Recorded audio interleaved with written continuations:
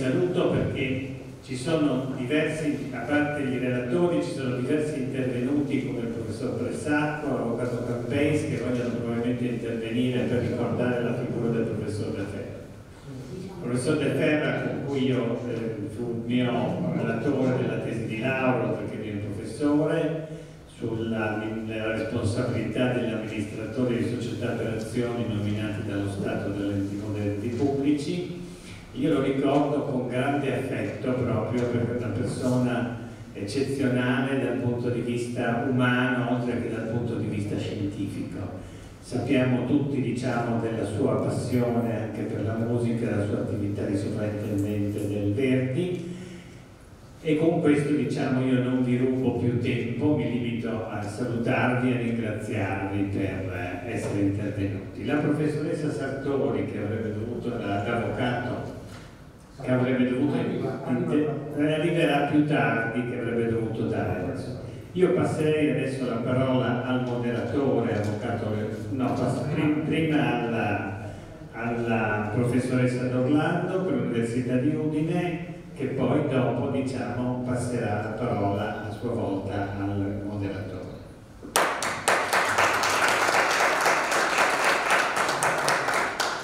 Ringrazio eh, l'avvocato del notaio Modio e eh, devo dire che mi fa molto piacere porgere i saluti di benvenuto a tutti i presenti in qualità di direttrice del Dipartimento di Scienze Giuridiche. E eh, mi fa molto piacere ritrovarvi in occasione di questo nuovo incontro del ciclo I grandi interpreti della tradizione giuridica del Friuli Venezia Giulia. Che il nostro Dipartimento, assieme a molti altri partners, ma primi tra tutti l'Unione Giuristi Cattolici, ha ideato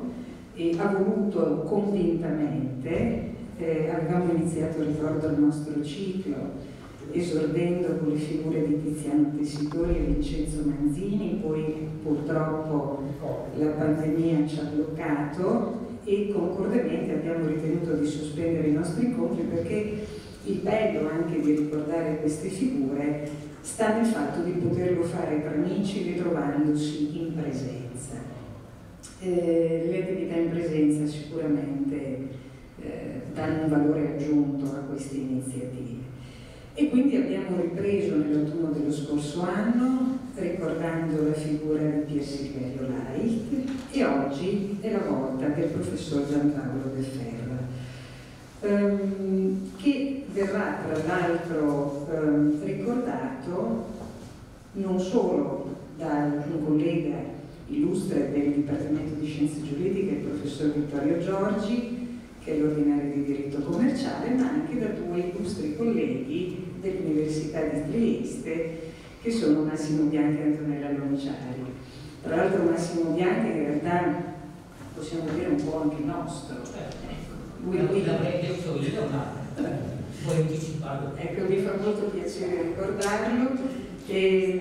è di casa qui e abbiamo conservato di lui un bellissimo ricordo, quindi ritrovarlo in questa occasione è davvero un piacere. Così come un piacere ospitare la collega Antonella Ronciari, che io ho potuto apprezzare anche in un contesto collegato a quello accademico ma un po' esterno, quale la celeberrima commissione esami d'avvocato.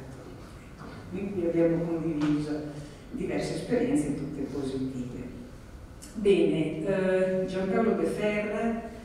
un insigne giurista che purtroppo è scomparso nel 2015, come già stato ricordato dal notaio Modio, ehm, è stato un giurista importante non solo sul piano scientifico, ma anche dal punto di vista delle istituzioni accademiche. Ha ricoperto la carica di magnifico rettore dell'Università di Trieste per tre mandati consecutivi, oltre ad essere titolare della cattedra di diritto commerciale e credo anche di diritto fallimentare. Come ricordava poi il notaio Modio, è stato anche sovrintendente del Teatro Verdi di Trieste, quindi una personalità eclettica, aperta alla cultura direi a 360 gradi. Quindi una figura che a suo tempo, con dottor Patti e l'avvocato Lencini, abbiamo inteso inserire in questo elenco dei grandi interpreti della tradizione giuridica del Friuli Venezia Giulia proprio perché la razio è questa, cioè quella di far conoscere giuristi del nostro territorio che si distinguono per meriti in campo scientifico ma anche in campo culturale, sociale, politico che vanno ben oltre il nostro territorio regionale e proprio per questo danno ancora maggiore lustro alla nostra comunità regionale. E eh, tengo poi a sottolineare che eh, in questa iniziativa sono uniti il nostro Dipartimento di Scienze Giuridiche e quello dell'Università di Trieste. E questo mi fa particolarmente piacere perché mi piace pensare che alla fine siamo un'unica comunità accademica del Friuli Venezia Giulia, in particolare un'unica comunità di giuristi che ha l'onore l'onere, o l'onere l'onore, vedete voi a quale lemma dare la precedenza, di formare la classe di giuristi del futuro. E da questo punto di vista sottolineo anche che il fatto di condividere un dottorato di ricerca, diritto per l'innovazione nello spazio giuridico europeo, è un segnale a mio avviso molto significativo, io come direttrice l'ho voluto fortemente, proprio all'esordio del mio mandato e spero che questa esperienza comune, nonostante eh, le difficoltà organizzative, le farraginosità burocratiche, possa essere veramente un bel progetto che ci porti frutti molto molto positivi per il futuro. Quindi ringrazio ancora tutti i colleghi che hanno dato la loro disponibilità a intervenire, ringrazio tutti voi presenti, ancora benvenuti e do la parola all'Avvocato Amici.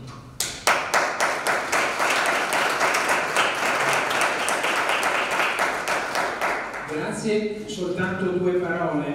perché l'occasione eh, di parlare del professor De Ferra è anche l'occasione eh, per ricordare il fatto che un po' di anni fa, eh, nel 2006, eh, questo nostro ciclo eh, di incontri ebbe un'anteprima. Ebbe un'anteprima con due incontri, uno dedicato alla figura del senatore Tiziano Tessitori e l'altro del professor Alberto Asquini. Relatore eh, dell'incontro eh, su Alberto Asquini fu il professor Giampaolo De Ferro che eh, col semplice biglietto da visita di essere stato eh, suo studente e, anche eh, laureando, laureato eh, con una tesi di laurea con lui, con questo solo biglietto da visita, il professore venne immediatamente a Udine, fece una meravigliosa conferenza che poi fu anche pubblicata. Quindi c'è questa anteprima eh, di questa iniziativa che avevamo incominciato eh, a tratteggiare e che un po' di anni dopo, grazie alla professoressa D'Orlando, trova un cambio di passo per cui invece che giuristi friulani diventa i grandi interpreti della tradizione giuridica del Friuli Venezia Giulia, perché è più, è più giusto, Trieste ha una facoltà di giurisprudenza che eh, ha più storia di quella di Udine e che il territorio che noi vogliamo considerare è quello regionale. Il cambio di passo è anche il fatto di coinvolgere direttamente l'università, che senza questi professori noi non avremo la possibilità di attingere al pensiero giuridico eh, eh, dei, delle figure che andiamo a ricordare e, e che ha visto, eh, come ha appena eh, ricordato la professoressa D'Orlando, già due incontri e questo è il terzo. Certo, eh, il, la velocità fino adesso seguita è stata quella di un incontro all'anno perché abbiamo incontrato questo, questo periodo tremendo, ma se eh, usciremo da queste emergenze potremo anche eh, riprendere con maggiore frequenza, con l'obiettivo, uno, sia di ricordare eh, queste, queste figure, sia di cercare a posteriori di vedere se c'è un filo conduttore o dei fili conduttori che legano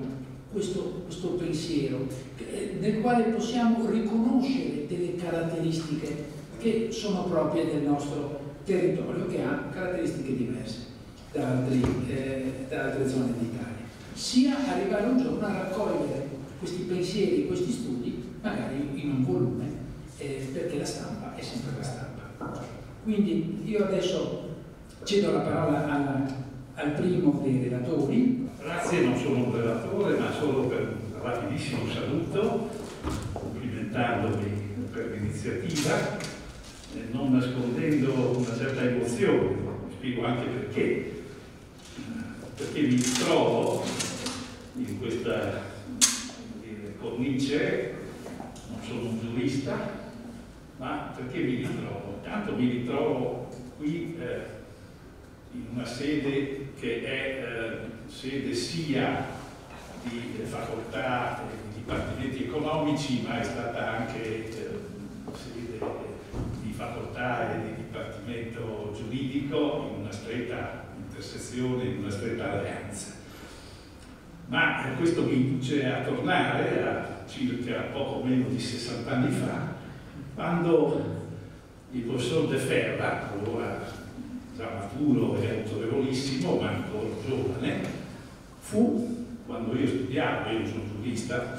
sono laureato in economia a Trieste, e lo conobbi, fu il mio docente di diritto privato e di diritto commerciale a partire dal 1964. Il diritto privato era il primo anno,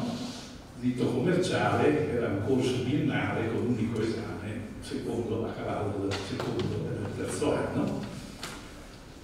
E mi ricordo il professor De Ferra che entrava in aula col codice, eh, salutava con un brevissimo inchino, ovviamente al tempo tutti gli studenti si alzavano in piedi quando entrava il cattedratico, salutava con un inchino cortese e poi si sistemava alla cattedra, allora c'era la cattedra, apriva il codice e cominciava a parlare. Questo mi è sempre rimasto impresso, cioè il codice come strumento, diciamo, di lavoro tipico del giurista. Eh, c'ero anche nel, nella commissione di laurea, a cui naturalmente era già incardinato ovviamente dalla facoltà di giurisprudenza, ma appunto prima ho parlato di questo tipo di collegamenti, eh, era anche eh, nella facoltà di economia, sia pure ovviamente transitoriamente, perché poi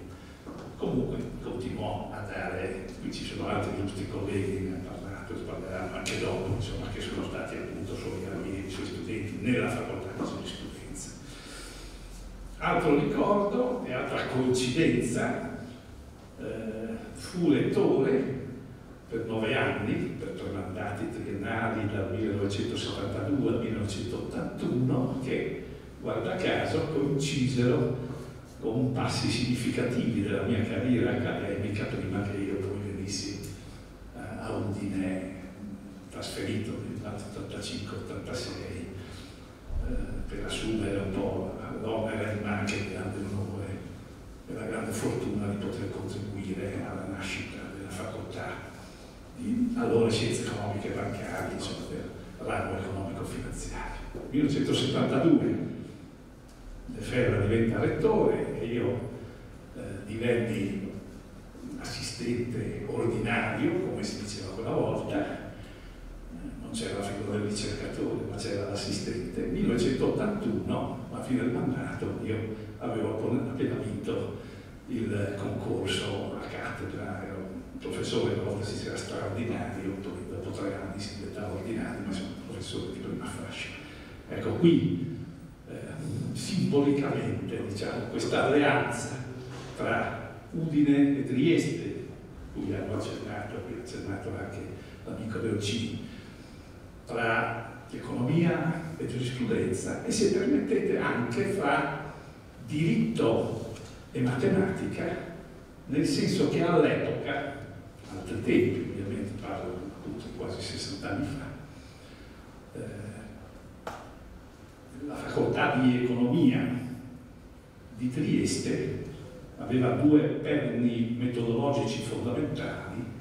cioè aveva un matematico come il formidabile Bruno De Finetti, che aveva appena lasciato, un famosissimo scienziato della probabilità e della matematica applicata all'economia, che garantiva diciamo, l'aspetto della copertura, l'aspetto matematico, non a caso io poi ho proseguito in quella direzione, e eh, i giuristi che ovviamente anche rappresentavano un terno fondamentale dell'Ateneo con questo collegamento. Mentre erano ancora meno forse consolidate invece le tradizioni degli altri due rami, quello aziendale e quello economico, che pure ebbero anche loro e anche io la fortuna di avere docenti di particolare valore e livello. Termino qui perché ovviamente non è eh, il mio mestiere fare il giurista, ho voluto fare però questa incursione veramente con una certa commozione e quindi ringrazio il cielo e la fortuna di poter essere stato qui in un ambiente con tante persone autorevoli, alcuni amici che hanno anche, con i quali ho avuto la fortuna di collaborare appunto nel mio periodo di presidenza, non faccio nomi. E buon lavoro a tutti, mi rammarico di non poter essere presente perché ho, un altro impegno via i pensionati lavorano troppo, come sempre si dice, ma spero di tornare prima della fine. Buon lavoro a tutti e grazie. Professor Massimo Bianca, docente Dipartimento di Scienze Giuridiche, del linguaggio, dell'interpretazione e della traduzione dell'Università degli Studi di Trieste, con la professoressa Antonella Donciari, docente Dipartimento di Scienze Giuridiche, del linguaggio, dell'interpretazione e traduzione dell'Università di Trieste. Io un po' mi alzerò e un po' mi eh, spiegherò perché la nostra relazione temo per voi sarà abbastanza lunga, perché noi abbiamo veramente una grandissima voglia, io e Antonella, di raccontarci tante cose che sappiamo del professore Giampaolo De Ferra che non verrebbero, nessuno le saprebbe se non le raccontassimo, perché molti sono aneddoti dati da un'esperienza di vita vissuta di chi, come me Antonella, ha vissuto 33-34 anni abbiamo condiviso nella nostra vita universitaria accademica con lui e lo vedevamo due o tre volte alla settimana e ogni volta ci intrattenevamo per parlarne. Parlavamo di tante cose, qualche volta in temi giuridici, ma devo dire la verità, il più delle volte in tante altre cose.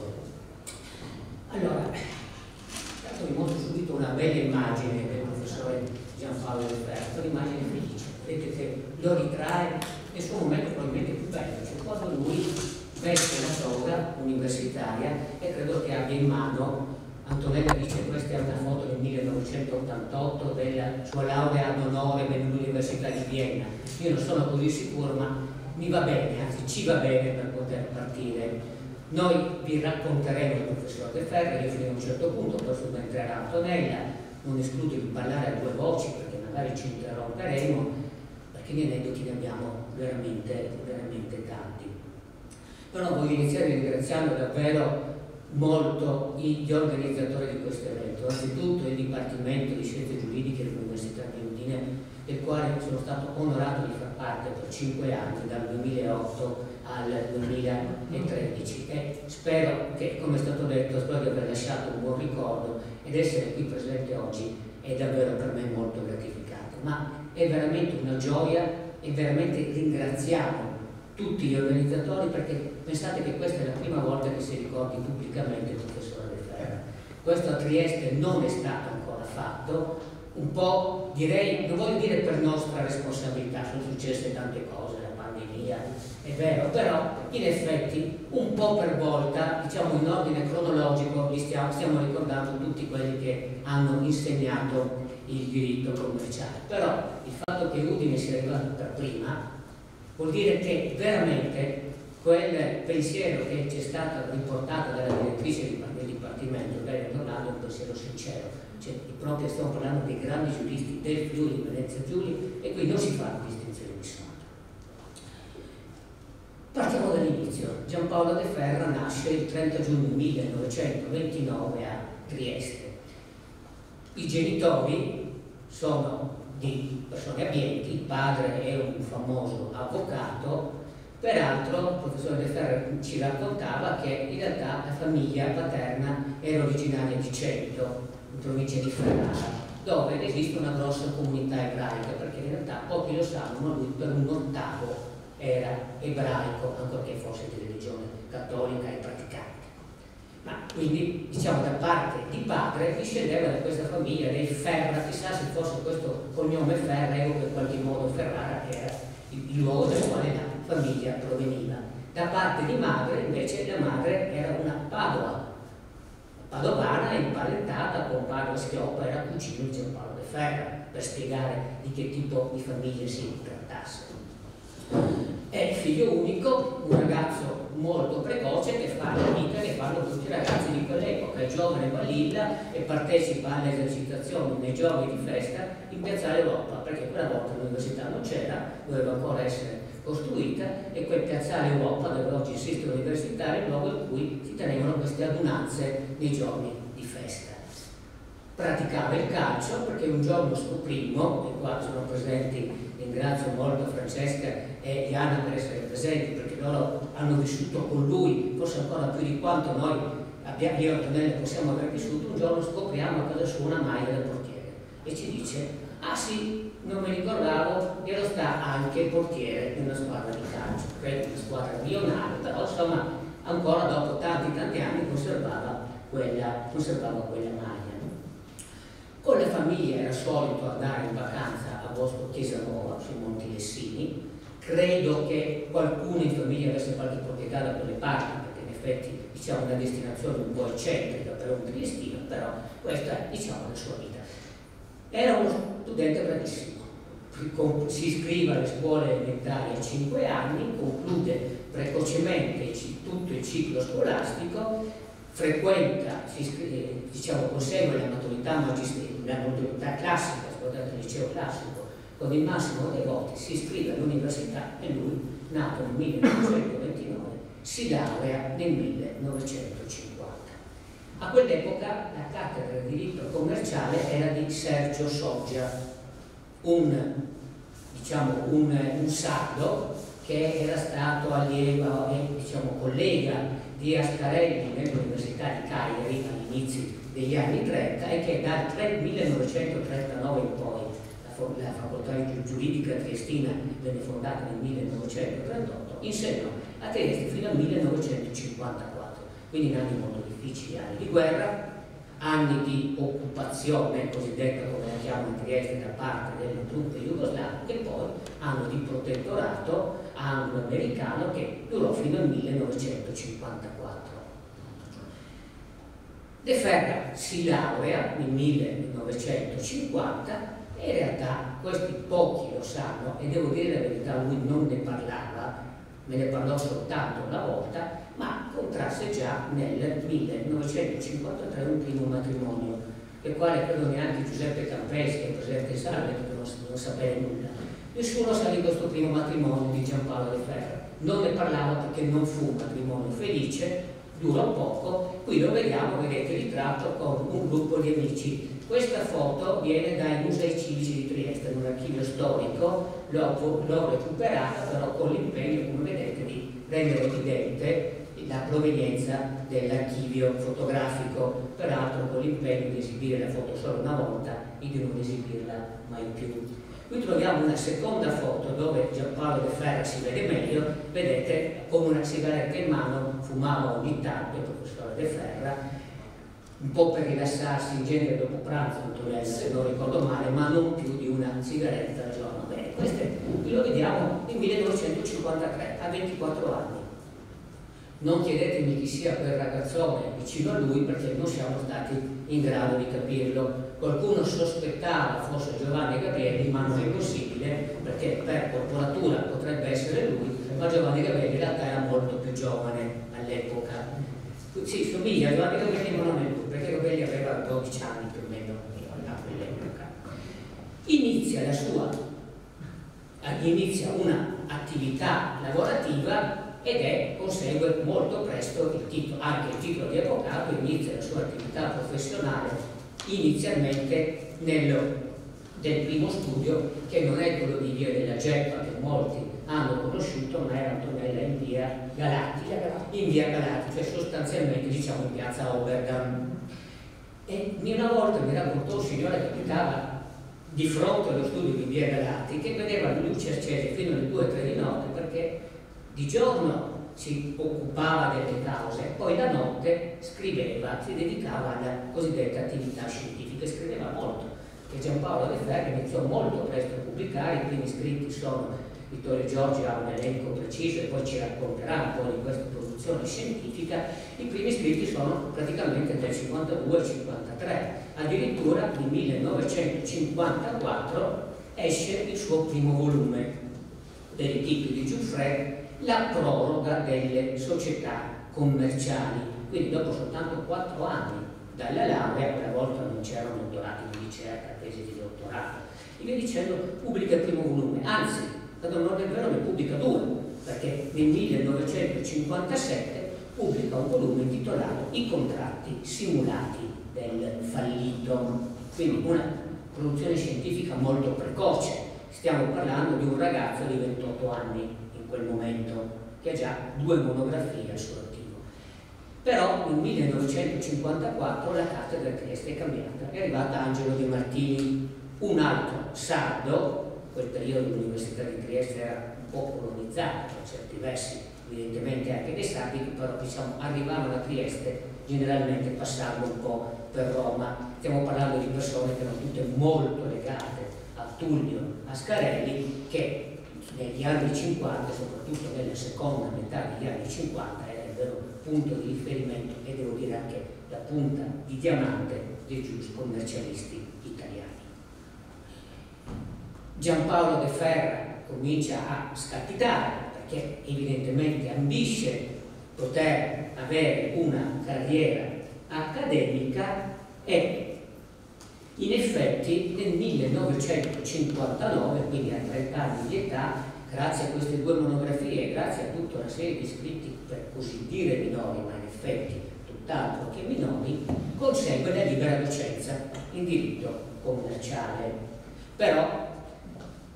essendo una persona molto, molto capace e anche giustamente ambiziosa, vorrebbe poter fare un concorso a cattedra. In quegli anni i concorsi a cattedra erano molto diversi da quelli attuali, erano concorsi nazionali che venivano banditi, se non ricordo male, ogni due anni e in ogni tornata venivano fatti, diciamo, diciamo venivano, oggi diremmo abilitati, soltanto tre candidati, quindi è una concorrenza molto difficile da combattere.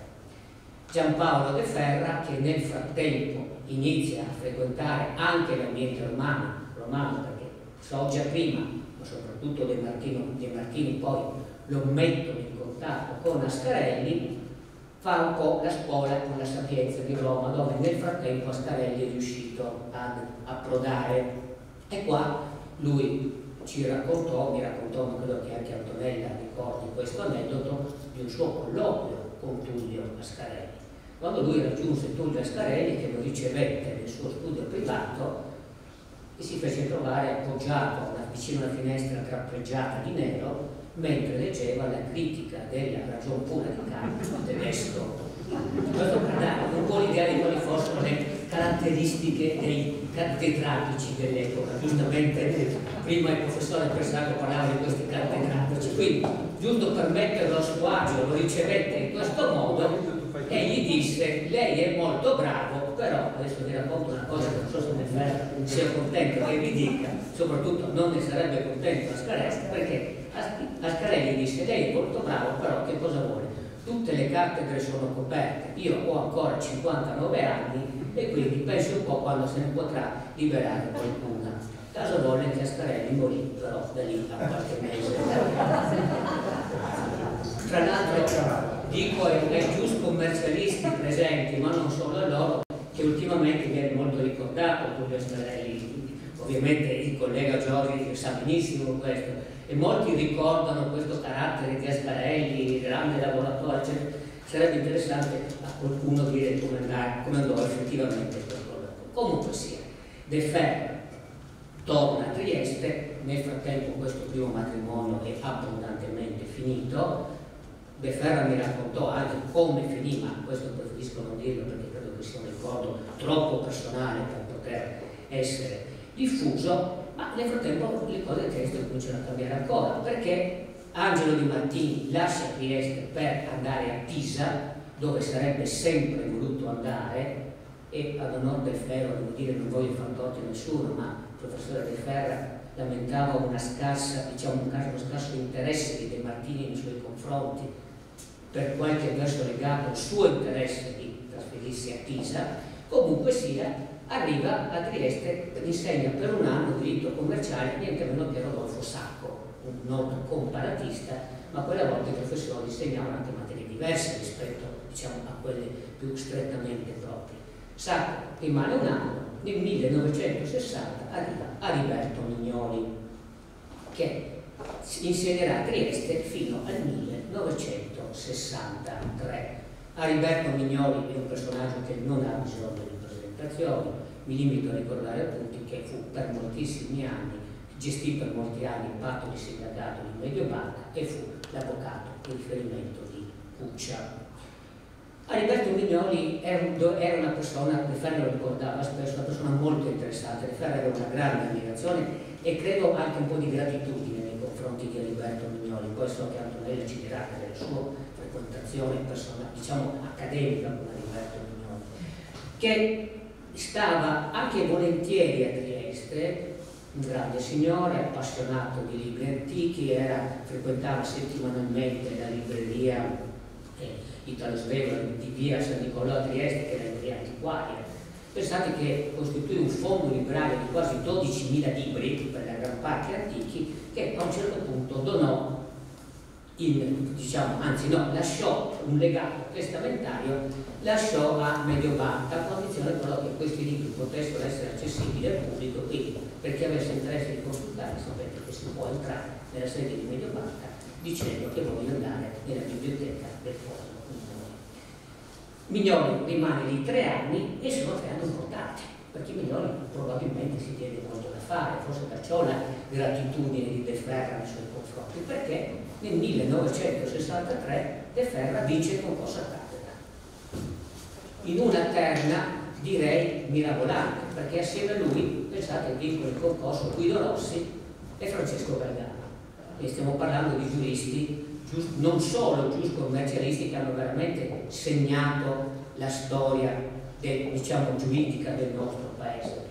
non è questa la sede per ricordare Galgano e nemmeno la sede per ricordare, per ricordare Guido Rossi, ma insomma sono nomi che anche chi non sia avvezzo a frequentare gli ambienti giuridici e, o quelli giusto commercialistici non potrebbe non conoscere. Vince il concorso e viene chiamato al eh, vinto il concorso viene chiamato come professore straordinario di diritto commerciale nella facoltà di economia e credo che sia stato lì che Arturo Pressaco la conobbe, proprio in quel momento. Nel 1964 pubblica questo volume, volume importante, la circolazione delle partecipazioni azionarie,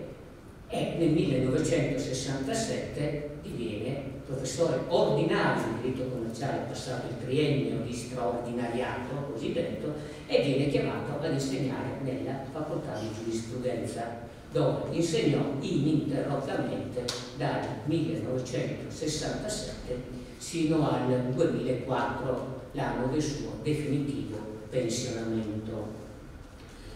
Nel frattempo ha conosciuto quella che diventerà la sua seconda moglie, che è Beatrice Molaro, credo contessa Beatrice Molaro, perché ricordo anche questo appellativo, che è una friulana di Cervignano, della famiglia Molaro, che è un nome del cervignanese sicuramente conosciuto. Non so dove sia nato il loro amore, ma so che certamente entrambi condividevano una fortissima passione per la vita, ma devo dire la verità anche un amore per la vita mondana, diventa una coppia di riferimento, diciamo, nel jet set triestino. Ecco, i, i De Ferra sono mh, conosciutissimi a Trieste, in quel momento abita ancora nel grattacielo che sta in fondo alle rive, avete presente in fondo alle rive di Trieste c'è un grattacielo, credo proprio uno degli ultimi piani, e lì vivono intensamente la vita cittadina che piace a entrambi. De Ferra era una persona cui piaceva molto frequentare in proprio in tutti gli ambienti ed era particolarmente attratto dagli ambienti culturali frequenta assiduamente, poi Antonella ci dirà qualcosa di più, ma in realtà Arturo Pressato ha già svelato che fu per 25 anni sovrintendente dell'ente lirico, del teatro lirico Verdi di Trieste, portate bene per 25 anni. De Ferra era un melomane, la sua passione per la musica era una passione assoluta, superiore a quella che nutriva per il diritto. Francesca e Iana, mi scuseranno se le chiamo con il cognome, sanno benissimo che negli ultimi mesi della sua vita trovava un po' di sollievo soltanto nell'ascoltare la musica classica e cercava per quanto possibile di continuare a seguire. La sua attività va avanti, scusate devo adesso scorrere perché... E qua lo vediamo, ecco vedete qui nel frattempo, lo vediamo ritratto all'interno di un aereo delle frecce tricolori. Sappiamo che le frecce tricolori hanno da poco festeggiato i loro 60 anni, ma credo che questa sia un'immagine che non dico risale a 60 anni fa, ma insomma poco meno. Evidentemente aveva avuto piacere nella circostanza di visitare quell'aeroporto, non sappiamo se fosse già Rettore o meno, purtroppo non ho una data di questa fotografia, ma insomma la sua vita è una vita assolutamente, assolutamente piena. Devo fare però un piccolo passo indietro. Negli inizi degli anni 60 il giovane professore Giampaolo De Ferra riceve un incarico dalla Repubblica Italiana. È il rappresentante della Repubblica Italiana nella fondazione del, eh, del, del, dell'Istituto Inter, Internazionale di Fisica Teorica. In quegli anni si discuteva della fondazione di questo Centro Internazionale di Fisica Teorica che vi ricordo ha sede a Miramare, che è subito alle spalle del castello di Miramare a Grignano, negli anni 60 inizia il confronto per la fondazione di questo centro di fisica teorica e per qualche ragione che non so spiegarvi, perché De Ferro non me la spiegò, lui divenne rappresentante della Repubblica Italiana. Era ovviamente un confronto che veniva condotto a livello internazionale che poi ebbe sbocco nel 1964 con l'effettiva fondazione di questo centro internazionale di fisica teorica. Però la fondazione è una cosa, l'effettivo avvio dell'attività di questo centro di fisica teorica è un momento successivo, ma ci torneremo con un'immagine che vedremo tra breve. Nel 1981, scusate, nel 1972 Giampaolo diventa giovanissimo, giovanissimo rettore a 43 anni dell'Università degli Studi di Trieste. Non erano anni facili. Prima di lui era stato dettore, rettore Origone, un altro giurista che aveva dovuto gestire la contestazione nel 1968. Gli anni che vanno dal 1972 al 1981 sono anni molto difficili sono anni di una forte, persino violenta contestazione studentesca, che però, devo dire la verità, il professore De Ferra riuscì, quale rettore, a gestire in maniera assolutamente equilibrata. E l'Università di Trieste, quegli anni molto tumultuosi, fu probabilmente uno degli atenei più, diciamo, più tranquilli, quantomeno nel nord-est italiano, lui raccontava ogni tanto di scorribande di gruppi che venivano all'Università di Padova, se non ricordo male, ci diceva, ma che però che a volte occupavano anche il rettorato. Però, però lui senza mai alzare i toni, con grande signorilità, con quella sua capacità di dialogo immediato che riusciva a trovare con qualsiasi interlocutore, riusciva a placare gli animi e sostanzialmente insomma, a gestire anche queste situazioni. Ha detto prima il professore Persato, mi spiace tanto che sia andato via, che quelli furono anni molto importanti, anzitutto per l'Università di Trieste, perché sono gli anni di crescita dell'Università anzitutto di crescita a livello internazionale. Qui vediamo il professore De Ferra, vedete che stringe la mano, quel signore che vedete davanti a lui è il rettore dell'Università di Ife in Nigeria. Il professore De Ferra aveva fu un rettore che curò moltissimi rapporti internazionali e agli inizi degli anni 70 l'Università di Trieste diciamo, sponsorizzò l'apertura di un dipartimento di ingegneria in questa università nigeriana da quella volta i rapporti, ma non dei giuristi, degli ingegneri, continuano ad essere molto, molto forti. Poi ovviamente era a quel punto un uomo pubblico e qui evidentemente abbiamo anche tutto il tema delle frequentazioni politiche che erano strettamente legate alla carica di rettore che egli rivestiva. Vedete, dietro la fotografia si vede un plastico, o meglio un'immagine, un, quell'immagine è l'immagine di quello che sarebbe diventato l'Università di Trieste. Ha detto prima il professore Persacco, probabilmente fu proprio in quegli anni che venne, vennero completati diversi edifici tra i quali quello che ospitava e ospita tuttora il Dipartimento di Economia, non so quale fosse l'oggetto di questa discussione, ma immagino che stesse cercando di trovare un po' di soldi per l'università, perché quella volta i finanziamenti universitari erano molto diversi da quelli, da quelli attuali.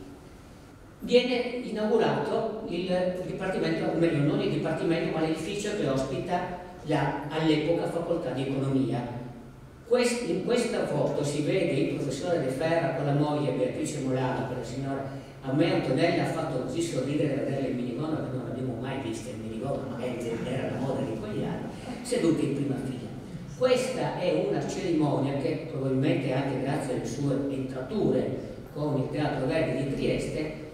da qui a breve gli spettatori, qui siamo dentro l'edificio di economia, assisteranno ad un balletto. Il Teatro Verdi di Trieste si spostò nell'occasione per inaugurare questo edificio in università e sta per assistere, credo che chi, chi regge le scene in questo momento stia presentando il balletto.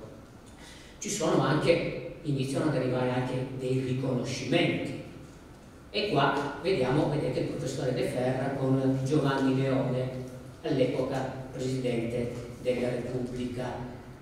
Cosa accade in questo incontro? Ce lo dice la slide immediatamente successiva. Ricevette il titolo di Cavaliere della Repubblica per meriti culturali. Non è un titolo molto facile da conseguire, ma evidentemente qui siamo nel 1976, quindi siamo più o meno a metà del suo rettorato, riceve a Roma questa onorificenza di Cavaliere della Repubblica per meriti culturali. Qui lo vediamo ritratto come rettore in altre immagini pubbliche. Io non sono stato in grado di identificare le persone che sono con lui in questo momento. Ho chiesto anche a mio padre che pensare che mi onora di seguire questo incontro di oggi. Lui disse che forse era Sara, non si sa. Lo chiedo a lui perché insomma non, non, lo sappiamo. Non sappiamo chi siano questi signori, ma è una fotografia che lui conservava. A proposito, perché io ho queste fotografie? Le ho perché fortunatamente ho conservato alcuni effetti personali del professore De Ferra, quelli che lui teneva nel suo studio. Eh, Francesca sa bene che queste erano fotografie che lui teneva sulla sua scrivania, sulla sua libreria, che sono che, un po' quello che mi è rimasto del professore De Ferra. Proseguono gli incontri pubblici, vedete qui lo vediamo con Andreotti, non, anche questo devo dire purtroppo queste fotografie non hanno una, insomma hanno scritto a terra quale sia la circostanza delle, che, che ritrae, ma insomma immaginiamo che anche in questo caso stia ritirando una qualche onorificenza, probabilmente non attribuita a lui, ma attribuita all'Ateneo che lui ritira in quel momento quale rettore. L'immagine successiva è un'immagine molto simpatica, qui devo dire io temo molto Quel signore che vedete con il professore De Ferra è Abdul Salam, il gran premio Nobel per la fisica, che fu sostanzialmente il primo, diciamo così, rettore del, del Centro Internazionale di Fisico-Teorica di Trieste. Cosa accade in questa scena? Vedete che sta passando in mano una banconota di un dollaro. E perché? Allora adesso vi racconto qual è il retroscena di questa immagine. Pochi sanno che l'area, la superficie di Miramare, retrostante il castello, dove oggi insiste il centro di fisica teorica, era di proprietà del principe di Torre Tasso di Duino, il quale la donò all'Università degli Studi di Trieste. Ricordate, vi dicevo, a metà degli anni 60 inizia, viene fondato questo centro di fisica teorica e viene fondato grazie alla munificenza del principe di Torre Tasso, che dona quest'area molto importante, parliamo di una superficie molto estesa, nella quale l'Università degli Studi di Trieste costruisce il centro di fisica teorica. Quindi costruisce gli edifici che sono di proprietà, almeno all'epoca, dopo, in quel momento erano di proprietà dell'Università degli Studi di Trieste, che li concedeva in affitto parlando una platea di giuristi capirete immediatamente perché, per il corrispettivo di un dollaro all'anno. Probabilmente qualcuno aveva pensato che per evitare l'usucapione si dovesse prevedere un contratto che prevedesse un diritto personale di movimento a fronte al pagamento di un corrispettivo. E questa è la scena che ritrae simbolicamente il pagamento di questo dollaro che il rettore di Trieste riceve dal rettore del centro di fisica teorica, quale pagamento del corrispettivo per l'affitto annuale dell'intera struttura. Questa immagine ci dice un po' di quale sia stato il profondo interesse e quanti scambi il professore De Ferra intrattenne in tutti quegli anni con la comunità scientifica. Vi faccio vedere un'immagine anche questa per me molto bella. Qui vedete Giampaolo De Ferra ha seduto affabilmente a conversare con Rita Levi Montalcini. Questa è una foto in realtà successiva del 1993. Temo che pochi ricordino che nel 1993 non era più rettore quella volta, ma però fu promotore dell'iniziativa, venne sottoscritta a Trieste una importantissima carta dei, non dei diritti universali dell'uomo, ma dei doveri universali dell'uomo. Tra i firmatari di quella carta vi erano molti, furono molti scienziati dell'epoca e immagino che questa sia la cena o pranzo diciamo, del momento nel quale il professore De Ferra diciamo, conversa amabilmente con Rita Levi Montalcini. Giampaolo De Ferra era molto amico, molto amico anche di Margherita Hack, io ricordo un simpatico viaggio in treno, Pio Le Ferra e Margherita Hack, che era un personaggio veramente incredibile, Margherita. Non voglio dire davanti ai giuristi cattolici che cosa dicesse generalmente nella Chiesa, diciamo che un po' una mangia preti, ecco, per essere abbastanza semplice. Io non ho purtroppo tante altre foto, ma vedete me le ho viste con i miei occhi. Ricordo una foto con la regina di Spagna, ricordo una foto con Pablo Wojtyła, ricordo una bellissima foto con Carlo Azeglio Ciampi, cui lui dava del tu, ma per una ragione che non voglio anticipare e che dirà dopo Antonella. Gli anni di rettorato di Giampaolo De Ferra, qui abbiamo altre foto, questa non sono stato in grado di capire chi fossero e di che cosa si trattasse, però il professore De Ferra è seduto un po' in punta di sedia, quindi non è il protagonista della scena evidentemente. Il professore De Ferra non solo promuove questo assiduo confronto con quelli che noi chiamiamo gli scienziati o diremmo i cultori delle scienze nude, come si usi dire nel contesto universitario, ma cura molto anche i rapporti internazionali. Bene, pensate che nel 1976 a Trieste viene organizzata per la prima volta la conferenza dei rettori delle università europee quindi viene, si tiene per la prima volta a Trieste nel 1976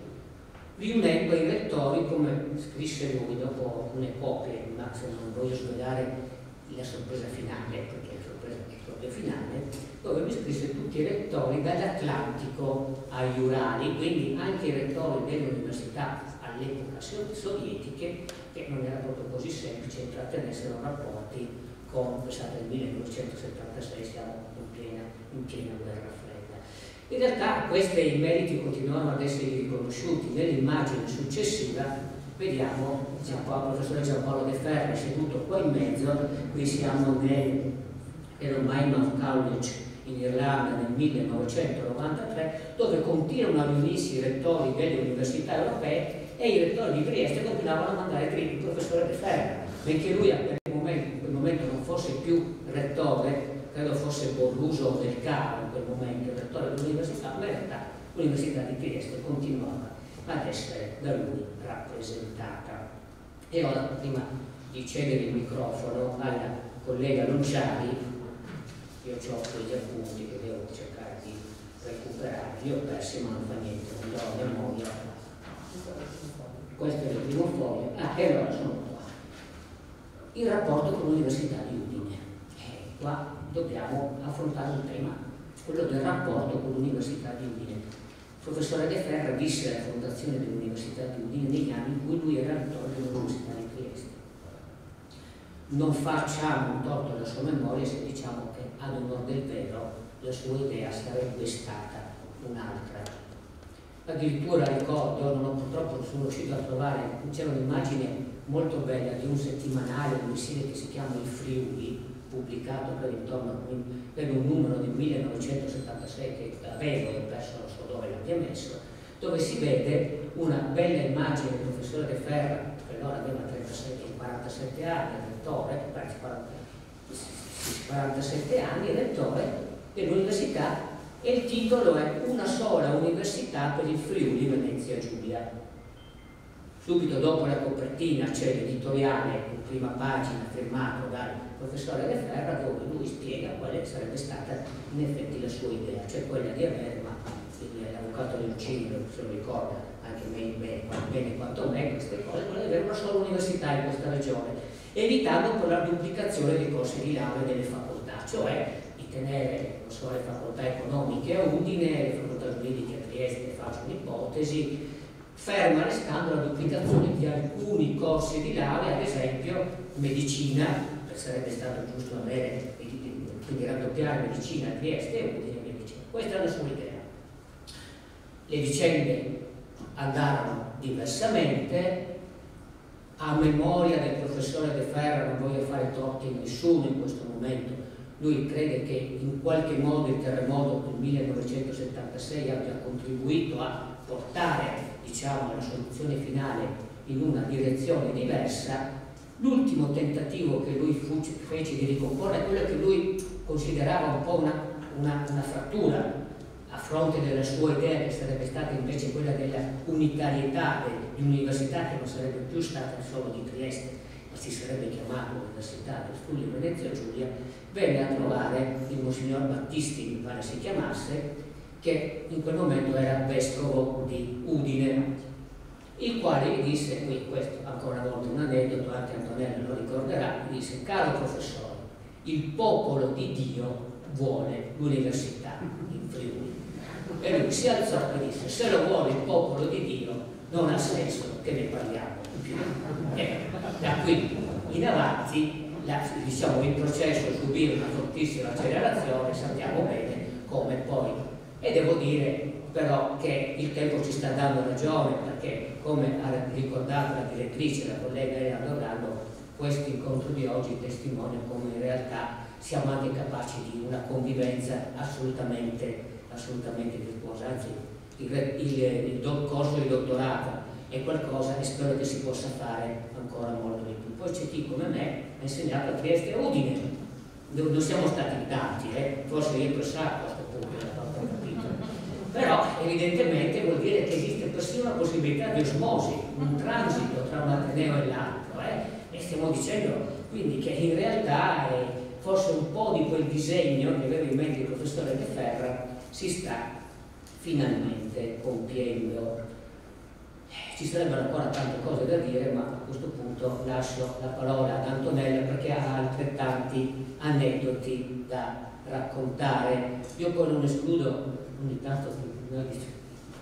siamo talmente amici e ci vogliamo talmente bene che nessuno vi vede un torto se l'altro dovesse eventualmente intervenire. Ma poi insomma se qualcuno, poi Giuseppe Campè si vuole ricordare la sua tesi di laurea a un certo punto, eh, do, dove, venne, dove, venne, corretta questa tesi di laurea, ma poi quando parlerà Antonella verrà fagiolo il tuo ricordo. Vi ringrazio e spero che questa, questa breve narrazione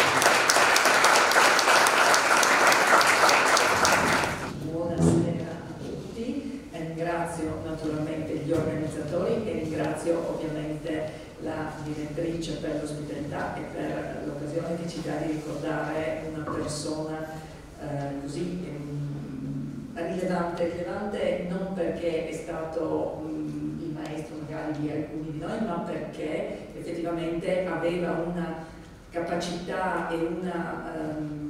capacità innanzitutto di mettere le persone a proprio agio, si faceva amare da tutti, prima eh, Massimo ha ricordato l'amicizia che aveva con il professor eh, Alberto Mignoli e, e, e la riconoscenza che il professor De Ferra aveva nei confronti di Alberto Mignoni, ma io sono stata testimone in un incontro ehm, diciamo, ehm, universitario dove si percepiva invece la grande stima e amicizia che Alberto Mignoli aveva nei confronti del professor De Ferra. Quindi eh, ovviamente c'era mm, nell'uomo questa capacità di eh, farsi veramente mh, mm, voler bene perché riusciva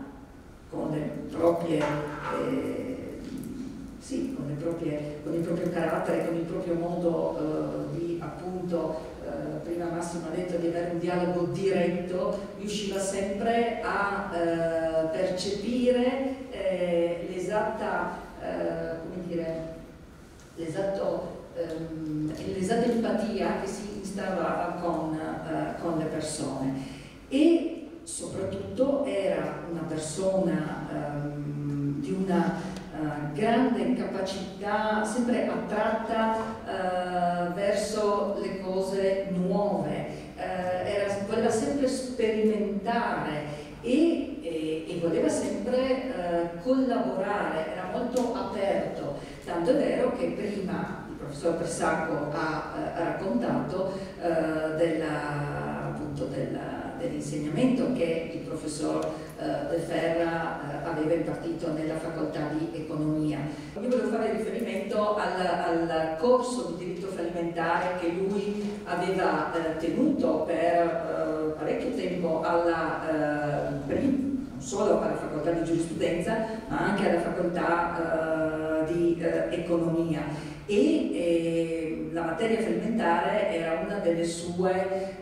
diciamo preferite, nel senso era una materia che amava, eh, che aveva approfondito sotto eh, diversi, eh, diversi, aspetti e eh, oltre a scrivere eh, il manuale di diritto fallimentare per, eh, per gli studenti, aveva però um, affrontato diverse tematiche, tanto da farlo apprezzare non solo come eh, giurista, come puro giurista, ma anche come una persona particolarmente, ehm, diciamo, particolarmente esperta della materia, tanto è vero che non dimentichiamo che lui nel 92 è stato nominato commissario straordinario eh, nell'amministrazione straordinaria della, eh, degli altifoni Ferriere di Servola, per, per cui è rimasto per due anni e l'altro ha concluso anche con la, eh, cioè ha portato a termine il suo con la vendita, esatto, la vendita a, al gruppo Lucchini e, e grazie a lui. E ricordo che questo riconoscimento, eh, cioè la nomina ovviamente era la nomina ministeriale, ma io ricordo perché ero presente in stanza sua la telefonata con l'allora professor Guarino che gli comunicava che lo avrebbe nominato eh, commissario straordinario, quindi evidentemente c'era una uh, stima e una riconoscenza delle sue, uh, delle sue appunto, mh, esperienze non solo dal punto di vista, ripeto, ribadisco,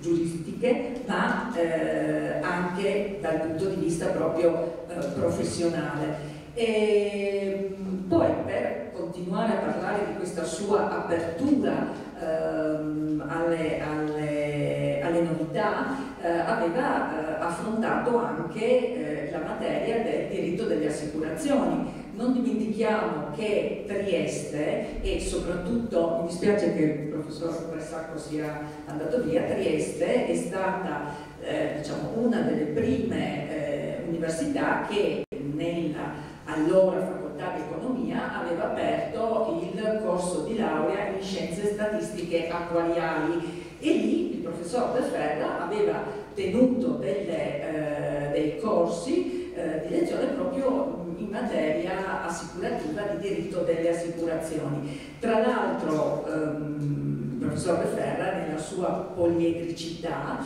eh, sin dal 1965 eh, era stato ehm, diciamo, tra i fondatori eh, della sezione del Friuli Venezia Giulia della eh, AIDA che è l'Associazione Internazionale di Diritto delle Assicurazioni e, ehm, e quindi ehm, aveva eh, anche lì si era confrontato con la materia assicurativa ehm, producendo tra l'altro eh, anche degli scritti e tanto per dare l'idea eh,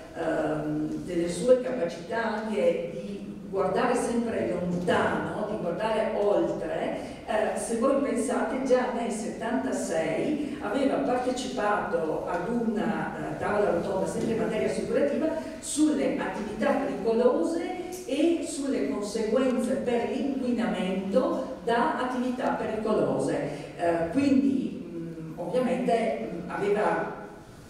aveva eh, già eh, capito che questo sarebbe stato un tema poi sul quale ovviamente eh, si fa adesso, scopro perché mi ha fatto fare la tesi su quel tema. Eh, certo, perché poi lui, perché poi lui eh, così come, per esempio, io mi sono eh, laureata eh, con una tesi in diritto fallimentare eh, sulla, ehm, sul concordato preventivo concessione dei beni, se può risolversi o meno, ed era un argomento che naturalmente eh, ehm, a lui era particolarmente caro e, e, e, quindi, e quindi, quale poi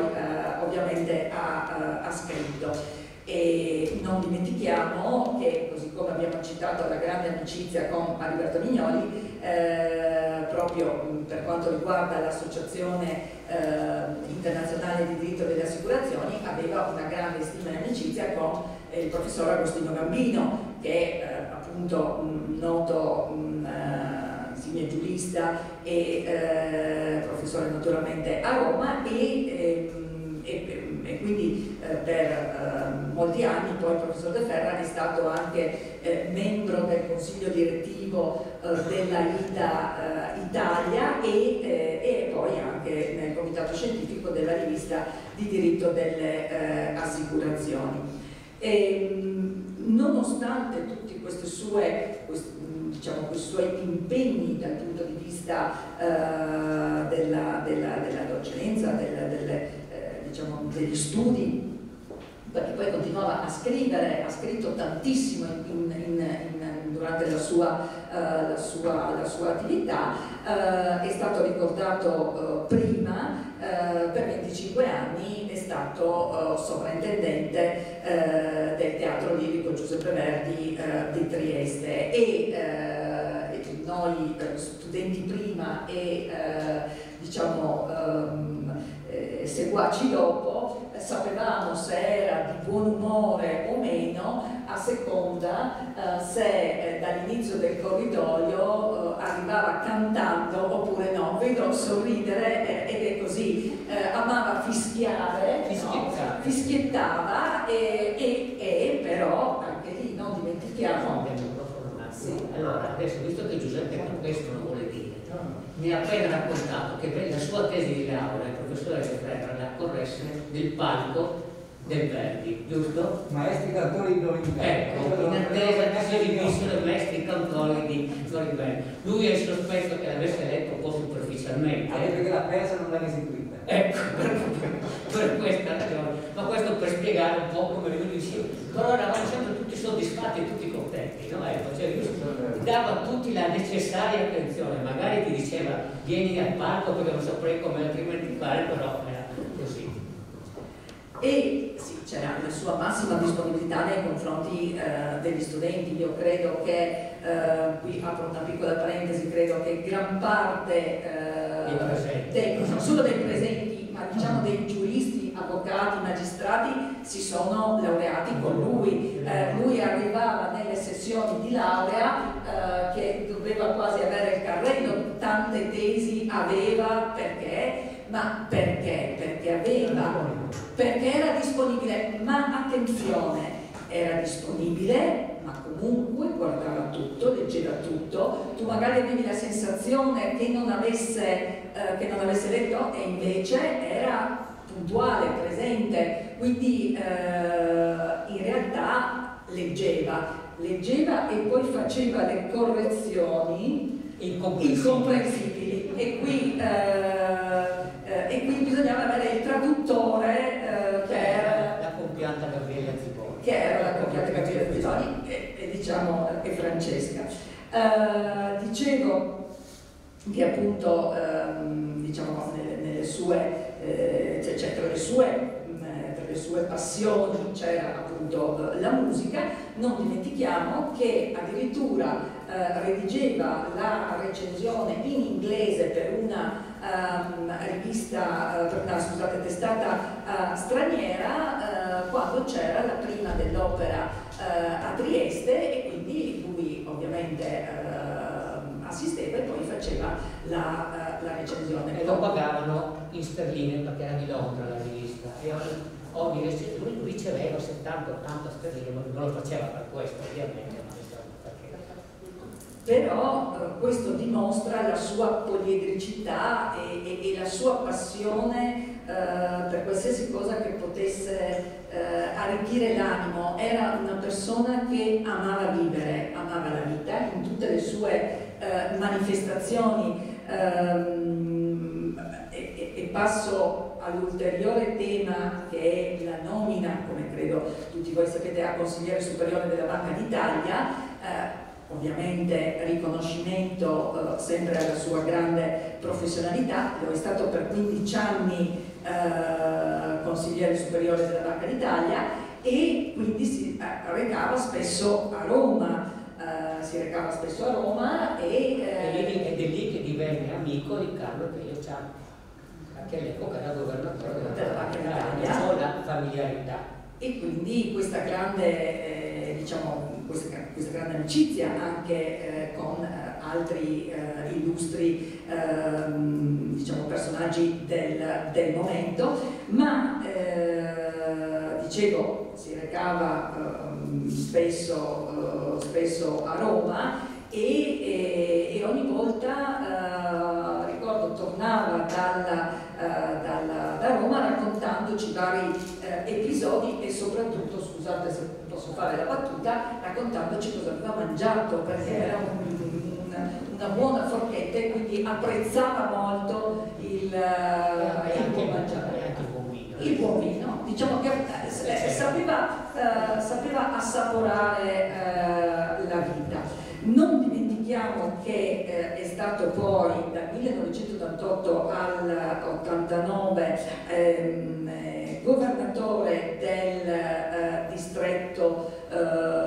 numero 206 del Rotary Club. E anche qui ovviamente c'è sempre un riconoscimento al, al, all'uomo e alle sue, eh, alla sua, ehm, al suo profilo, alla sua, eh, sì, alla sua persona e, eh,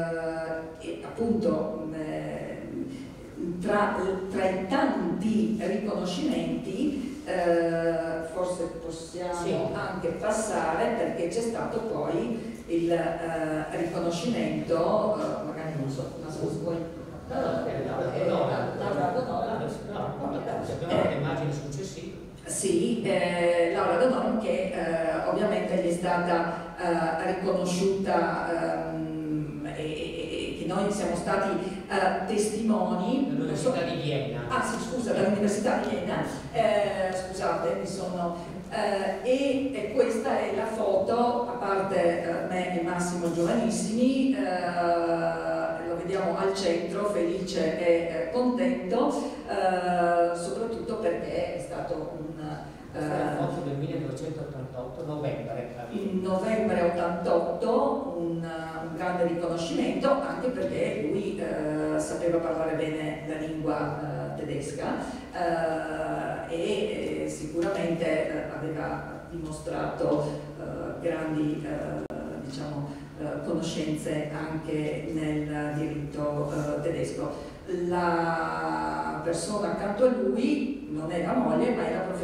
professoressa Romana Pagia che forse qualche ex studente di giurisprudenza ha, riconosciuto. Bene,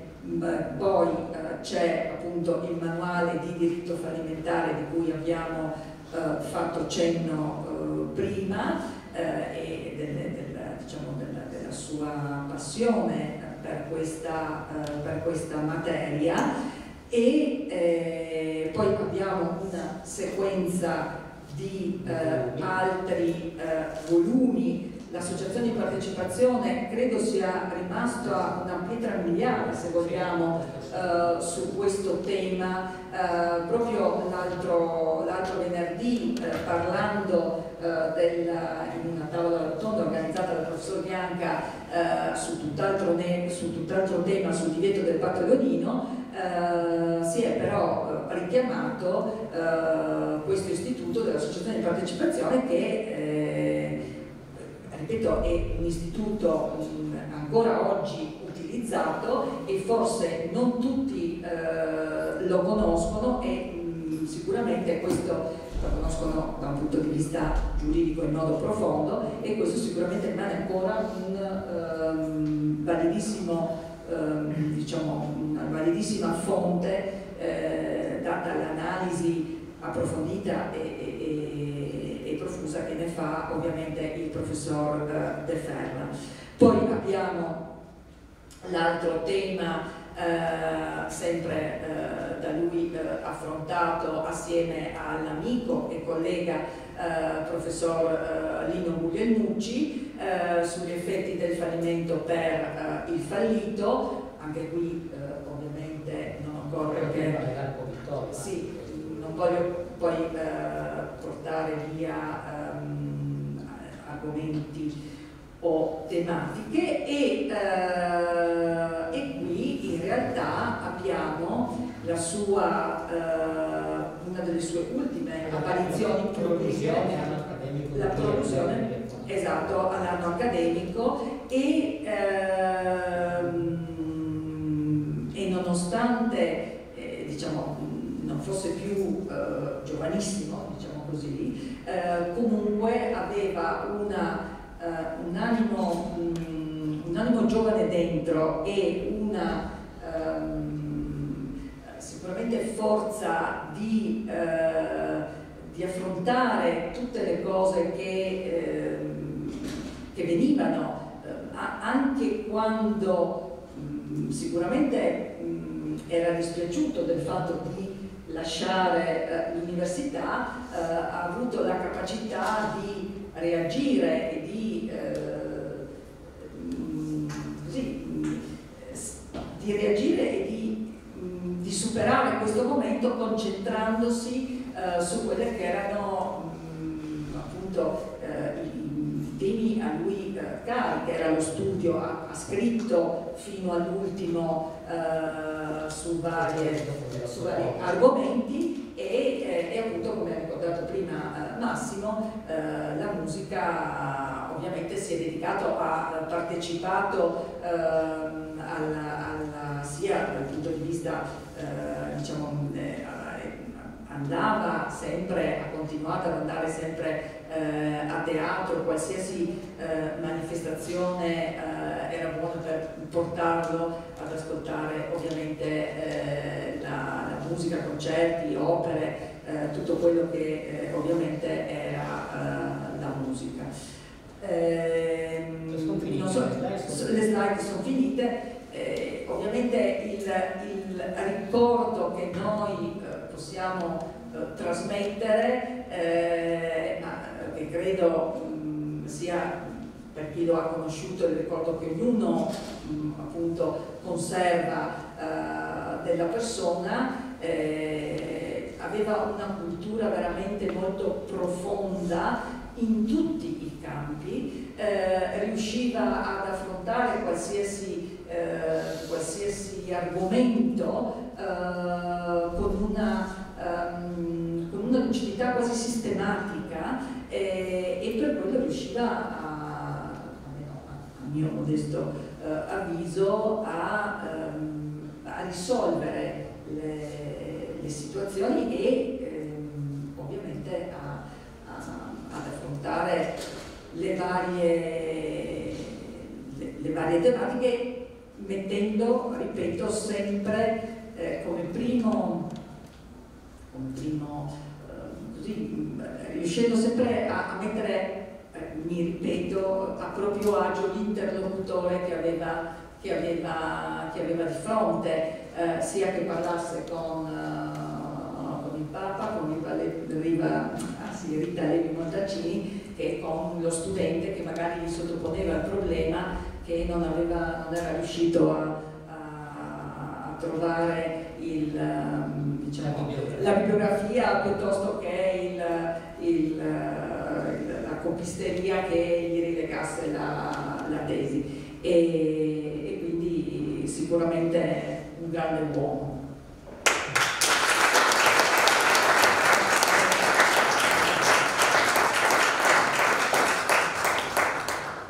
Allora, prima di restituire il microfono all'avvocato Leoncini, poi soprattutto la parola a Vittorio Giorgi, voglio ricordare ancora tre aneddoti di Giampaolo De Ferra, uno a 20 anni, uno a 50 anni e uno a 84 anni. E questo ve li racconto anche perché se non me li cose non le saprebbe nessuno, io ho quasi voglia, anzi desiderio, necessità di raccontare, perché temo che tutte queste cose non nessuno le ricordi più. Quello dei vent'anni, che mi raccontò un giorno lui, è un po' piccante.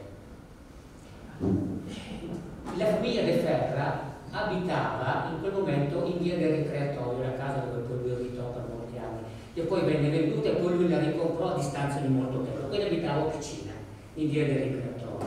E io ogni tanto andavo a trovarla e facevamo delle passeggiate, uscendo di casa, e quindi in queste stradine di vicina. E un giorno, passando davanti a una villa,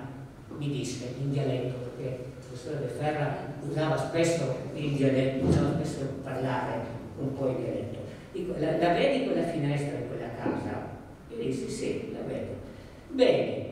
mi scavalcavo il muretto e andavo dentro in quella casa, quella che era la camera da letto, che aveva una morosetta che però era fidanzata con un ufficiale britannico quindi stiamo parlando degli anni in cui Trieste era per il cosiddetto territorio libero, e una volta lui arriva prima e mi sono scappato dalla finestra. Questo per, dire De Ferra a 20 anni.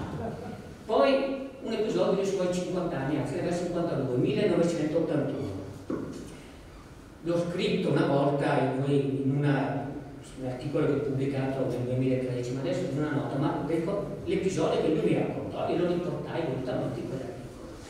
Nel 1981 la Cina si stava un po' iniziando ad aprire, ricordate la diplomazia del ping pong cosiddetta, la Cina cominciava a essere un po' più vicina, un po' più aperta. E improvvisamente nel 1981 il governo cinese dell'epoca pensa di mettere mano a una, non neanche una riforma, perché un vero e proprio diritto commerciale, un diritto societario nemmeno esisteva, era stato abrogato e nemmeno più sostituito, di varare una legge in materia societaria prevedendo lo strumento delle società per azioni. E si rivolgono agli italiani, parte dell'aeroporto di Milano, una delegazione che è composta da, dal professore Giampaolo De Ferra, poi è composta da, eh, ti ho detto questa mattina i nomi, che erano Antonella, da, da, da, vabbè, insomma, da altri insigni studiosi e tanti, tanti ehm, giudici milanesi. E a terra l'aeroporto di Pechino dove vengono immediatamente ricevuti da una, da una, delegazione di giuristi, per modo di dire, perché per modo di dire sappiamo che l'atteggiamento verso i giuristi in Cina abbastanza complesso, diciamo da studiosi cinesi. Fanno il primo incontro questa delegazione italiana che doveva stare 15 giorni in Cina, girare per tutta la Cina e diciamo, incontrare vari accademici, vari studiosi, fanno il primo incontro dove il professore De Ferra e gli altri spiegano che nella società per azioni la società è di proprietà dei soci, che sono dei soggetti privati, e che vale il principio di maggioranza. Grazie. Come proseguirono gli altri 15 giorni, non incontravano più nessuno, giravano tutta la Cina, dalla muraglia cinese in poi, li rimisero sull'aereo e li rimandarono in Italia. Questo per dire un po' in persona e dovreste dovuto sentire raccontare da lui. Questa vicenda come lui ce la raccontava ed era tra l'altro era un uomo molto simpatico. Poi arriviamo all'ultimo episodio che voglio raccontare qui De Ferro ha 84 anni lo racconto volentieri qua di fronte all'associazione dei giuristi cattolici. Perché? perché pochi sanno che il professore Giampaolo De Ferra era un cavaliere del Santo Sepolcro. In realtà non lo sapevo neanche io. E la signora Iana che sta muovendo in questo momento, Francesca, forse ricorderanno che a un certo punto, non si sa come, mentre eravamo a casa sua, io andavo a trovarlo, era già molto avanti in età, quindi avevo 84 anni, tirò fuori un mantello di cavaliere del Santo Sepolcro, bianco con la croce rossa. E noi diciamo, ma professore, non si è mai detto di questo. E io devo dire una cosa, io e il professore De Ferra e anche Antonello siamo sempre dati rigorosamente del lei. Io lo chiamavo sempre professore, lui mi chiamava generalmente Massimo, mi chiamò collega, continuavo dandomi del lei, solo quando divenni professore ordinario. Quindi il nostro rapporto era un rapporto sempre molto cordiale, molto affettuoso, ma necessariamente formale. E devo dire che io ho sempre apprezzato e imparato anche questo. Ma insomma, la voglio fare breve. A un certo punto diciamo, ma che cosa devono fare i cavalieri del Santo Sepolcro? Fanno il punto di recarsi sul Santo Sepolcro. E allora, credetemi, in 448, devo dire che la signora Iana, che è seduta in fondo, la signora Francesca, fu bravissima, organizziamo un pellegrinaggio in Terra Santa. Partimmo, un viaggio che non fu facile professore Di Ferro era già molto avanti con l'età, ma soprattutto le sue condizioni di salute non erano eccellenti, ma riuscimmo a girare la Galilea, la Samaria, a girare persino andare in Palestina e ovviamente andammo più volte sul Santo Sepolcro, addirittura un giorno riuscimmo a fare due messe nello stesso giorno. Era il 2013, questo era il 2013, il professore De Ferro morì esattamente due anni, due anni dopo. E devo dire che io temevo molto questo viaggio, eh, perché eravamo tutti molto preoccupati, però invece tutto quanto andò bene, forse fu anche una benedizione divina nel farlo che andò bene, eh. Siamo, e quindi riuscì ad adempiere a questo modo. Credo che questo lo abbia molto, eh, lo abbia molto gratificato, perché il professore De era un uomo di profonde credenze religiose,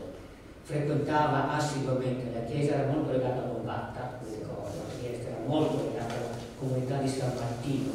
di Lombatta e quindi diciamo, aver adempiuto questo voto sicuramente fu qualche cosa che gli, insomma, gli consentì di, vivere serenamente anche, immagino, la fase del suo, del suo trapasso. Quindi vi ho raccontato tre aneddoti di un, uomo, in tre momenti diversi, fa tre cose completamente diverse, ma per darvi l'idea di quale fosse la figura. Adesso però io devo tacere perché ho parlato anche troppo,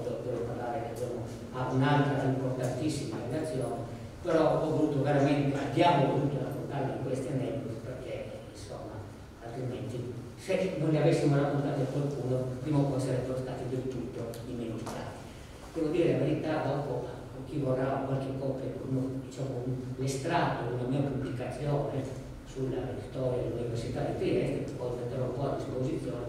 vi proporrò alcune di queste vicende, ma dopo, senza tutti i particolari vi abbiamo riferito. Basta, io potremmo ancora parlarvi molto tempo, ma non, sarebbe, non è questa la circostanza, quindi restituisco il microfono all'avvocato Boncini e ringrazio anche per la nomina Antonella nuovamente per averci coinvolti in questa iniziativa.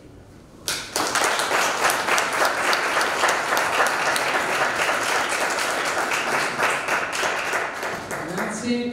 professori Bianca e Lociari, credo che i vostri ricordi, i vostri dettagli siano risultati preziosi a tanti di noi che hanno cara la memoria del professor De Ferra. Quindi nostra, il nostro ricordo si è arricchito di tante cose che non sapevamo e che terremo con noi e ci, ci ha fatto molto molto piacere. Bene, siamo arrivati alla relazione del professore Vittorio Giorgi, che è dell'Università degli Studi di Udine, del Dipartimento di Scienze Giuridiche. Grazie. Dopo questi splendidi ricordi di, di Massimo e della collega, veramente io mi sento fuori posto perché il mio praticamente è un non ricordo, eh, in quanto io eh, a parte che non sono stato allievo del professore De Ferra, ma praticamente credo di averlo visto una sola volta nella mia vita e grazie a Massimo ad un convegno dove mi invitò a fare una, una relazione, eh, se, se ben ricordo, in materia di accordi di ristrutturazione del debito, tanto tempo fa.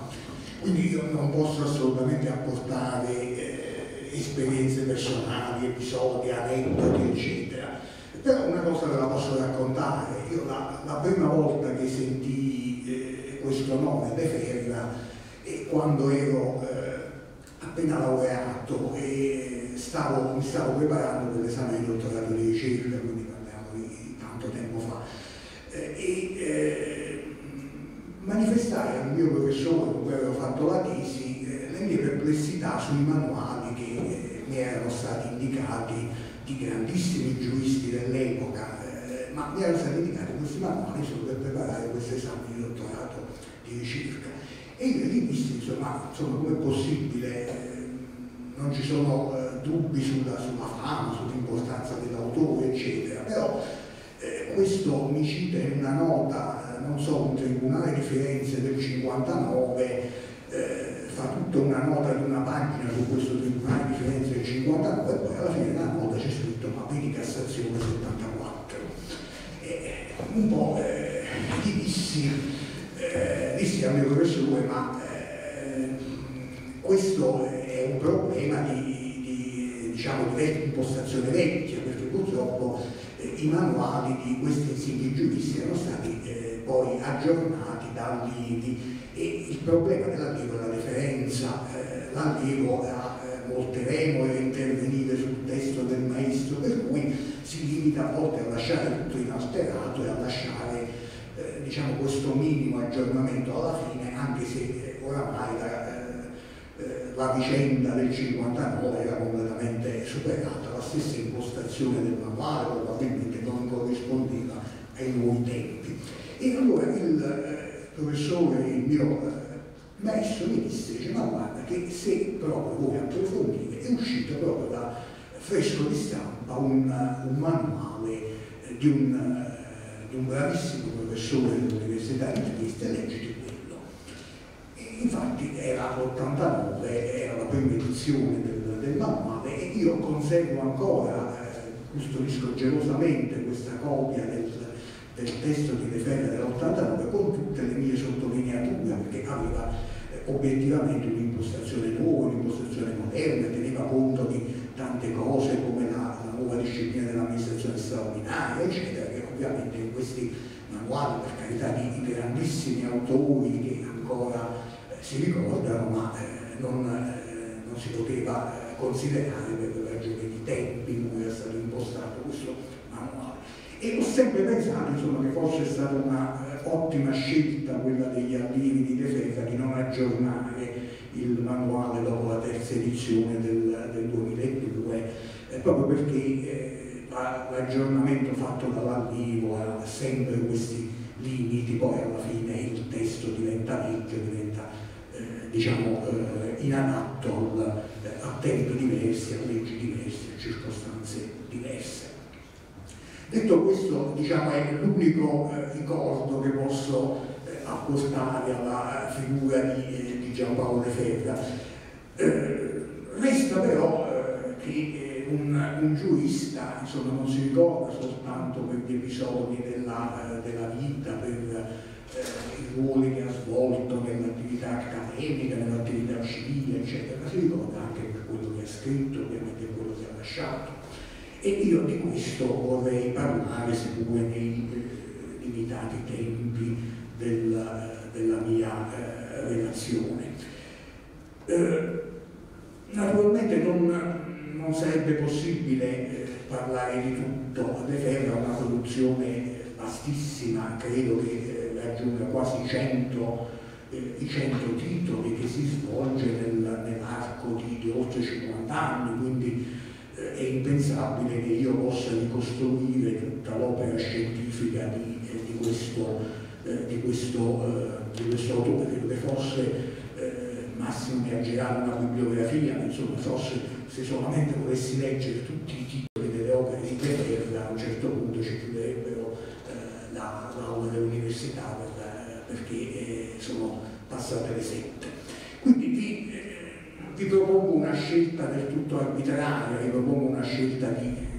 di alcune delle tante opere di, eh, di De Ferra e eh, ovviamente anche in modo molto sommario, esposto in modo molto sommario perché eh, non, eh, non, è possibile ovviamente considerare intere monografie una relazione eh, in tempi così eh, ristretti. Eh, io vorrei fatto parlare dell'inizio e della fine. Eh, l'inizio, eh, soprattutto nelle due fotografie che ha ricordato Massimo nel, eh, nel 57. Ora, eh, non è tanto eh,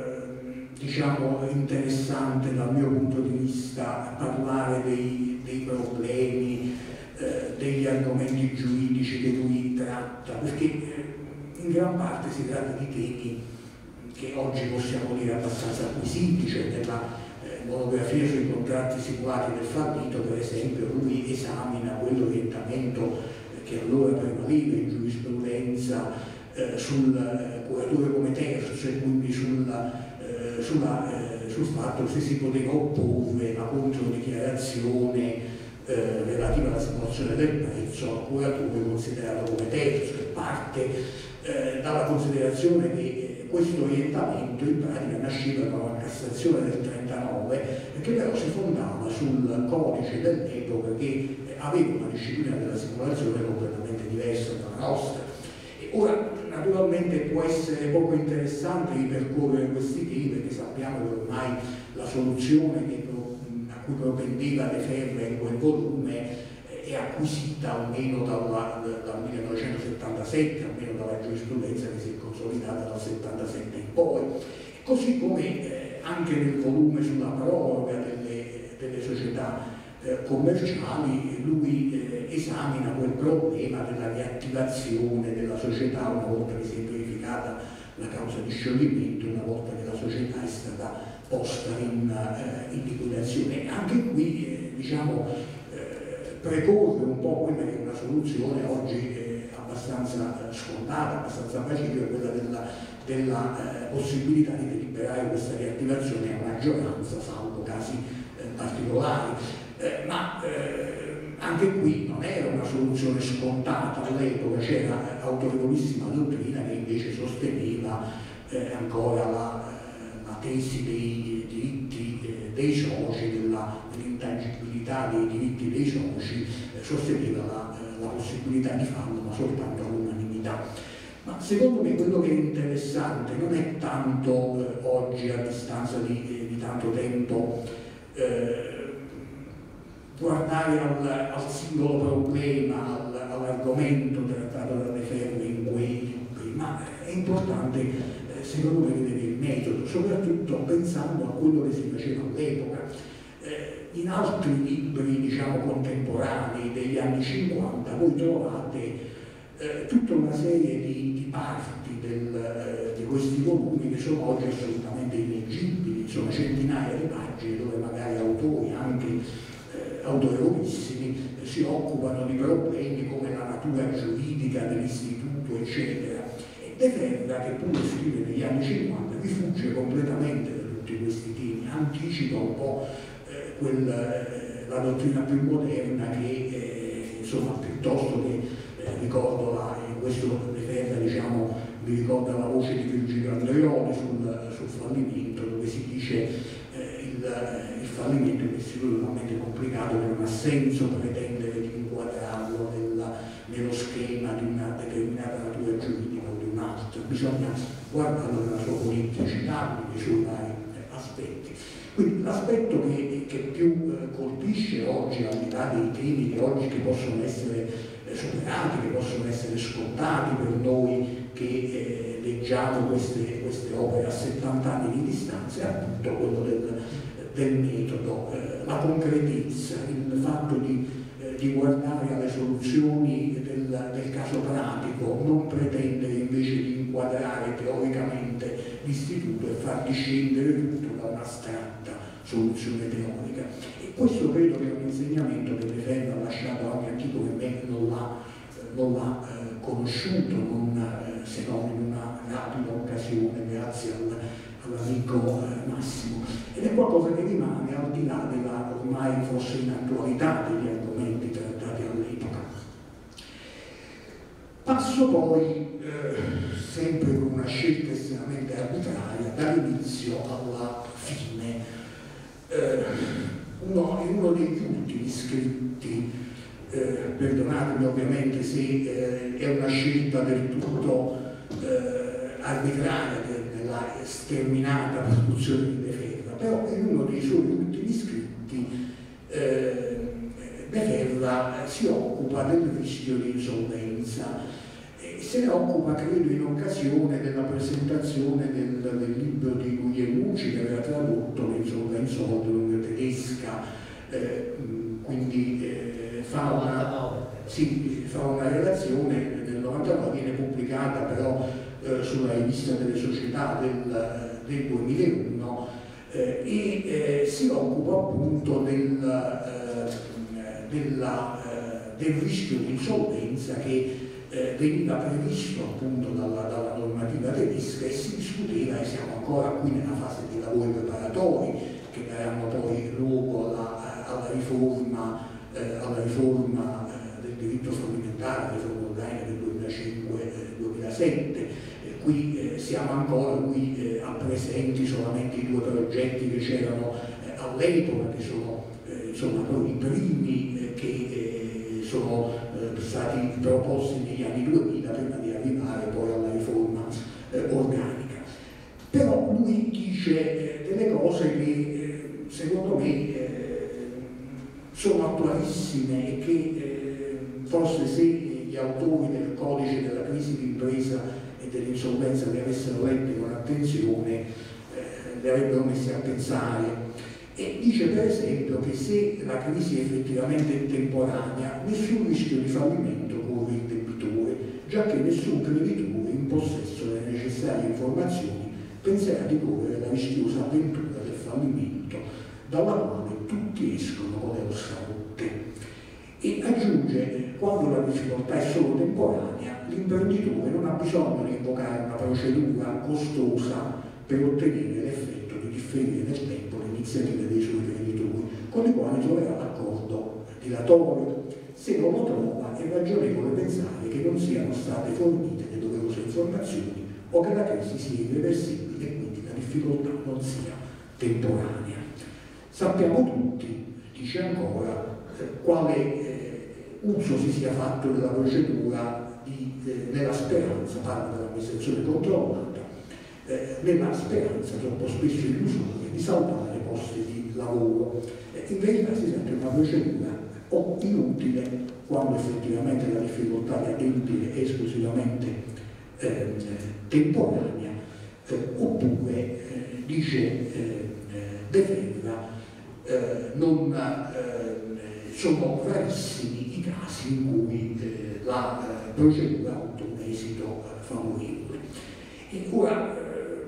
qui eh, mi pare che lui dica delle cose eh, attualissime, cioè è inutile andare a creare procedure complicate con relazioni di esperti, con attestazioni, con collegi di, di vari varie figure professionali che devono gestire questa procedura, eh, laddove c'è eh, una situazione veramente eh, temporanea che si può risolvere, che si risolve normalmente con accordi, con dilazioni, eccetera. E, e poi pone un problema che eh, pure attualissimo e che non è stato sostanzialmente affrontato dagli autori del codice della crisi di imprese e dell'insolvenza, quello dei costi, cioè eh, creare eh, tutto questo apparato procedurale eh, bisogna vedere fino a, che punto ne vale la pena, bisogna vedere fino a che punto non, eh, non si generi poi questa figura mostruosa che eh, produce tante spese da rendere del tutto inutile, da rendere eh, questa procedura concorsuale poi utile soltanto ai vari professionisti, alle varie figure che andranno a agire nel, nell'ambito della stessa.